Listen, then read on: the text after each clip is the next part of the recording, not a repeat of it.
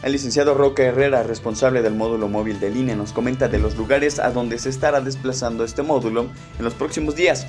También pide a la ciudadanía que sean pacientes cuando acuden a realizar su trámite.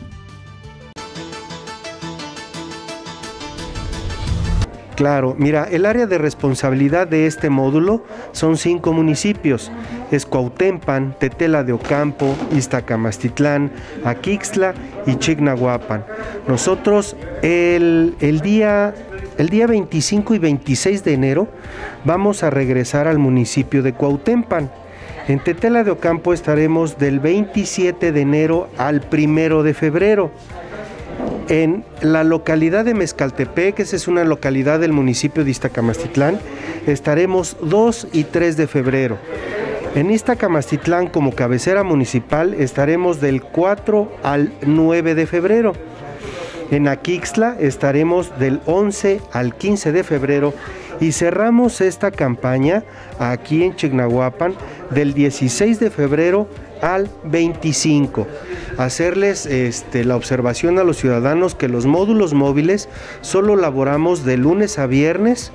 Eh, eh, teniendo un horario corrido de 8 a 3 de la tarde. Todas las credenciales aproximadamente en el módulo están un año. ¿sí?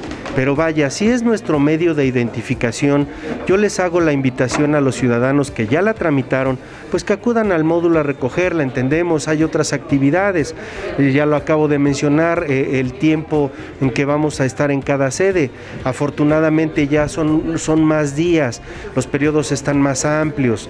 Entonces, pues que no dejen eh, perder esa credencial, porque eso sí, después de un año esa credencial se destruye, se da de baja. Desafortunadamente, los módulos ahorita nos estamos, eh, bueno, estamos trabajando por un, por medio de una ficha. ¿Sale? nuestras actividades inician a las 8 de la mañana, como ya lo mencioné, y terminan a las 3 de la tarde. los módulos fijos están programados para atenderlos por una cita. Iniciamos a las 8 de la mañana, a esa hora les asignamos un espacio. Lo que les pedimos a esos ciudadanos que ya traen sus documentos completos, que vengan con la disponibilidad de perder el día completo. Los vamos a ir citando a una hora, Hoy hubo ciudadanos que los, eh, los, citamos a las 10, a las 11, 11 y media, 12, y así nos vamos de corrido hasta las 3 de la tarde. Entendemos que tienen alguna otra actividad, pero alguna, eh, eh, si nos llegamos a trazar por el trabajo, es porque a veces los testigos no están, los testigos ya se fueron.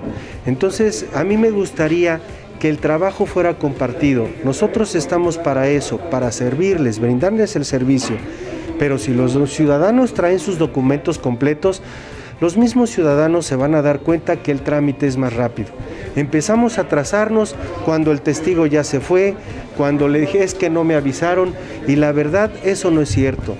Ah, todos los días, al inicio de nuestra jornada, un servidor les explica cuáles son los requisitos. A veces, bueno, entendemos que se les olvidó el acta, se les olvidó algún otro documento.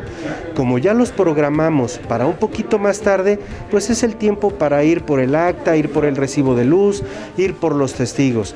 Si les pedimos simplemente llegar a la hora o si se puede cinco minutitos antes, si traen los documentos completos se van a dar cuenta que el trámite no se demora mucho. Pero sí ténganos bastante paciencia. No, el mismo día.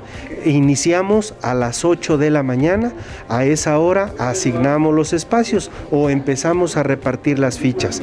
Y ya después nueve y media o 10 de la mañana, los empezamos a organizar dependiendo de la carga de trabajo que tengamos para que ellos acudan a hacer su trámite.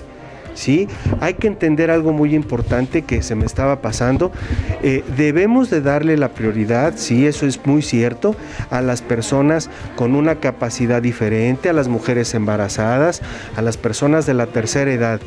Algo también para no hacerlos esperar, a mí me gustaría que si es una persona con una capacidad diferente, una persona de la tercera edad, una persona embarazada, que acuda un familiar antes con los documentos, con los documentos originales. ¿sí?